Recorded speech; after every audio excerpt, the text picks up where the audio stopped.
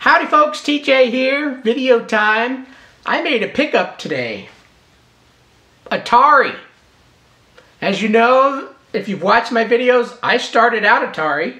And even though most of my videos in the last two years has been mostly Sinclair related, doesn't mean I don't love Atari still.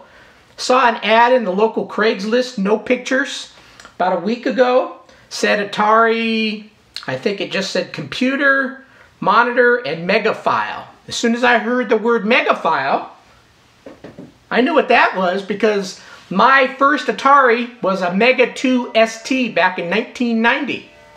Always wanted to get one of these. I actually had one, I don't know, 10 years ago, and I wasn't using it. It was pretty yellowed case. Sold it on eBay or something for a few bucks, figuring somebody could get use out of it. But now that I'm getting back into the retro computers, when I saw that, I wanted to get it mainly for the Mega 2 or, you know, this Mega File 30 for the Mega 2. That was my main goal. I think he was asking $100 for a computer. His ad just said, great condition. Well, they're not. uh, but like anything, you take it with a grain of salt. And then after he took pictures, quickly saw that it's missing the six key yellowing on keys, monitor. They have mice problems. I live out in the country, so I'm quite aware of what mice and rats can do. So the Megafile and 1040 actually came with boxes. Holes in the boxes, mice poop in the boxes. Kind of something that you get familiar with when you live out in the country. The best you can do is kind of try to maintain the population, keep it low so you don't have as much damage. These guys obviously, this just sat out in the garage forever. And so I did get the box, but more than likely, I may save it just because I don't have a Mega 30 file um, box. But it, has got a big hole in it about this big. Looks like it may have had some water damage at some point. Who knows? But anyway, I was thinking, man, for 100 bucks, not worth it. It was about 45 minutes down the hill. So I said, you know, after looking at the pictures when you said it was in great condition, $100 would have been fine. But in the condition that it was in, it wasn't worth the long drive for me. And so I said, well, if you ever decide to, you know, lower the price a little bit, let me know. And he said, make an offer. So I made an offer of 50 bucks, which is really cheap. I, I do agree with that. But at the same time, by the time I pay gas for a vehicle that has 15 miles to the gallon, going down the hill, picking it up and all that, and really the thing that I wanted was just this one thing, I figured this would be worth 50 bucks. Unknown condition, doesn't have the cable, no power cord, nothing. So I said, yeah, 50 bucks is worth it. So I made the offer, and he said, nah, the lowest I can go is 80 bucks. Uh, a couple of days later, he emailed and said his uh, girlfriend just wants him to get rid of the stuff, and he agreed to the $50. So I said, okay, cool. I'll come down and pick it up this morning. He was having a garage sale. So it worked out, got it home, and actually, so far, it works. I did one quick little boot up just to make sure the mega file doesn't have a cable, and I'm going to have to see if I have one laying around someplace. I don't know if I do. But I had a spare power cord laying around, and I just wanted to hear if it whirs up and you hear the, the hard drive spin up. So I stuck a power cord to it in the kitchen. Guess what? It did. Nice old, probably a Seagate in there or something. Whee! Spins up, and it sounds like initialized, and power lights on it, and so possibility I might have, and this is fairly clean. The box sucked, but the, the, the thing itself is fairly clean. Uh, so I might be able to clean it up and use it on my Mega 2. Awesome. So then I deviated to, well, let's actually see if this computer boots. Monitor is really dirty, and it looks like it's got some phosphor stuff going on inside. And uh, so I wasn't even going to try it, but I thought, ah, what the heck, we'll make a video, try it out. So I plugged this in, blew out the cords a little bit, turned it on, and guess what? 1040 actually booted up. Floppy did its thing. Don't know how clean or dirty it is, but it did its thing. And I got video and I got a desktop. The mouse that came with it wouldn't go, didn't work right. I have Atari, plenty of stuff laying around, so I put my own mouse on it. So we're going to do a second boot. This is not a first boot going, oh, it works. but I thought I'd do a quick little pan around. Hey, for 50 bucks, I got a 1040 ST. It's going to need some repair. The key is just not missing, but it looks like it's broken the uh, unit in here, but it actually does work. So maybe I can pull this little plunger thing. I've got a 520 ST out in the garage. I don't know if it uses the same plunger deal, but maybe I can swap a few parts and make a 1040 ST out of it that works fully.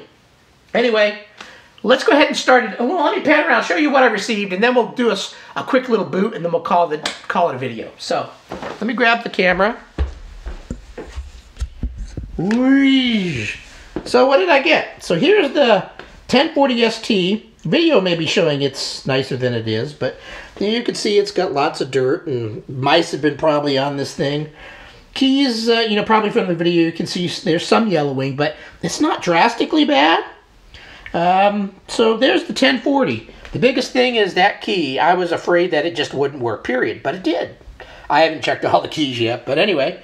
And then I got an SC, the standard SC 1224 and you're not going to be able to see it, but there's some phosphor burn crap stuff going on in there. But it actually works. So cool. You know, at worst, I've got another SC1224. If one of them goes, maybe I can use it for parts or something. So there's the monitor. And then this is the main thing I wanted, the Mega File. I want this for my Mega 2 ST. And it's overall in pretty good shape. And like I said, it does power up.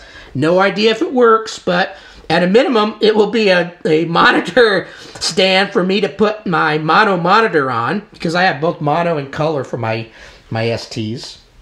So anyway, uh, this is my mouse, nice clean one. The mouse that came with it uh, seemed clean, but maybe just a, a good mouse ball cleaning might help, but it wasn't tracking left or doing anything. And then I received some floppies. Received uh, USA language, and an ST. This is probably the one that actually originally came with it. USA language one. And also Atari Advanced Hard Disk Utilities, which is probably for that. And then some booklets, manuals. I'm not going to go through that stuff. You guys have probably all seen that. But I did get the user manual for the 1040 and the mega file. So cool. You know, I just need to find a cable now. So let's go ahead and mount the camera back up and just start it up show I think for 50 bucks, uh, pretty good deal, especially if I can get the mega file to work. Video looks a little dark here, but let's go ahead and turn on monitor. You kind of hear it go and I need to put a floppy in. I'm going to go ahead and put the Mega and ST floppy in. Turn it on.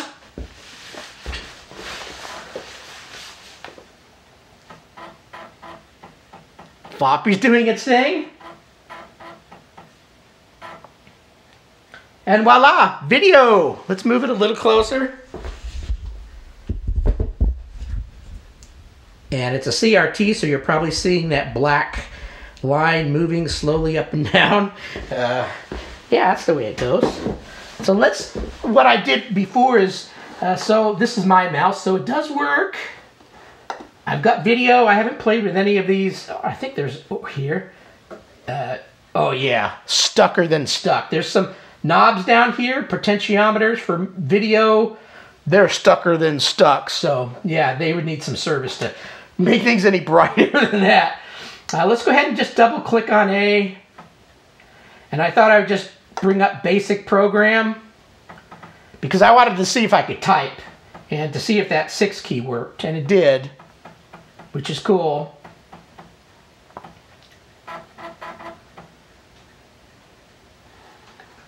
And so down here, syntax error, one, two, three, four, five, six. Oh, that did it quite a few times. Six. Oh, it's doing it twice. Six, six, six, six. Okay, it seems to be doing a little better now. Probably if you're too close to the 5, if you touch it. But it is working. Seven, eight, nine, zero. Return. So, yeah, it's working. 50 bucks. I say that's a steal of a deal. I can probably clean this up. At least it's a backup monitor in case I need it. I need to check the Megafile 30, see if I uh, can get that boot, and I need to go find a cable. I'll come back if I find one, but otherwise, there is my video for today. Thanks for watching, and I now have a 1040 STF Megafile 30 and another SC1224 monitor. Yes!